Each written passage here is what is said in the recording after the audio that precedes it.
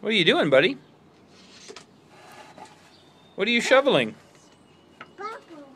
Yeah? Is that effective? Bubbles.